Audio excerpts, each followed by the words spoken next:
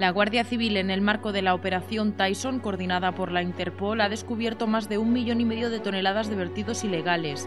En España han intervenido más de mil agentes que han realizado cerca de 400.000 inspecciones. Así se han esclarecido cinco delitos y se están investigando otros 12. En el marco de la operación Tyson se han detenido dos buques que transportaban 6.600 toneladas de residuos metálicos que descargaban en puertos españoles vertiendo residuos al mar sin ninguna medida de seguridad.